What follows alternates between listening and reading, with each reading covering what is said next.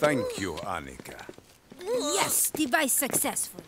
Mario, She's so manly. I love it. how did Di Ravello know we were here? Because he's psychic. No, it's Sheldon. Sheldon is psychic? Mario, I don't trust him. We have to use him. Tell Sheldon we're going to attack the power plant. That is a good idea. Yes. You lay the bait. We'll see if Di Ravello bites.